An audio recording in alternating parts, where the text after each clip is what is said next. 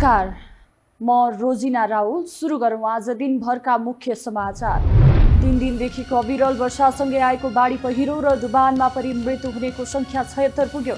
बहत्तरजना बेपत्ता छत्तिसजना घाइते एक हजार चार सय सन्ताउन्न जनाको सकुशल उद्धार। देशभर एक सय पन्चानब्बे स्थानमा भौतिक क्षति।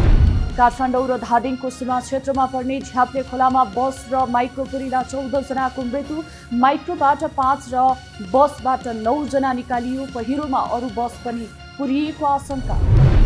बाढी पहिरोले प्रभाव पारेपछि तिन दिन विद्यालय बन्द गर्ने शिक्षा मन्त्रालयको निर्णय। विद्यालय भवनहरूमा आकस्मिक व्यवस्थापन समेत गर्नुपर्ने भएकाले विद्यालय बन्द गर्नु परेको सरकारको भनाइ काठमाडौँ उपत्यकामा चौवन्न वर्ष यताकै अत्याधिक वर्षा विभिन्न नौ स्थानमा रहेका वर्षा मापन केन्द्रहरूमा अहिलेसम्मको रेकर्ड ब्रेक।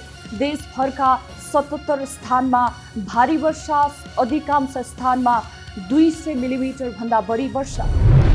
वर्षा कम भए पनि काठमाडौँको बागमती नदी सहित विभिन्न बाह्र स्थानका नदीमा रेड अलर्ट पानीको बहाव सतह सतर्कता तहभन्दा माथि थप एघार स्थानमा चेतावनी जारी।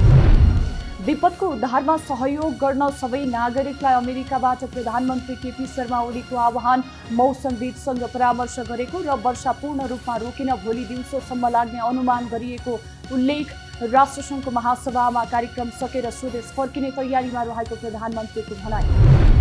अविरल वर्षाका कारण देशभरका विभिन्न आयोजनाहरूबाट उत्पादन हुने करिब बाह्र मेगावट बिजुली उत्पादन बन्द विभिन्न जलविद्युत आयोजनाका संरचनामा क्षति दमक र इलामको गोदकको बीचमा टावर ढल्दा इलाम पाँच तर्फे र ताप्लेजुङमा अनिश्चितकालका लागि विद्युत अवरुद्ध।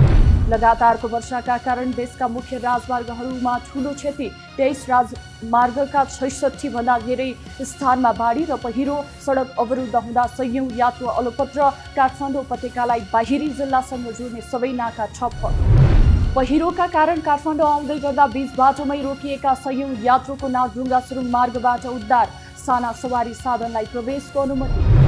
इजरायली आक्रमणमा हिजबुल्लाहका थप दुई शीर्ष नेता मारिए आफ्नो लक्ष्य प्राप्ति नभएसम्म युद्ध नरोकिने प्रधानमन्त्री नेतान्याहुको चेतावनी नब्बे हजार भन्दा बढी विस्थापित नेपाल साफ अन्डर सेभेन्टिनको सेमी फाइनलबाट बाहिरियो नेपाललाई चार दुई गोल अन्तरले हराउँदै भारत फाइनलमा प्रवेश हौस् त यो समाचार सकियो तथ्यसहितको निष्पक्ष समाचारका लागि हेर्दै रहनुहोला यो टेलिभिजन नमस्कार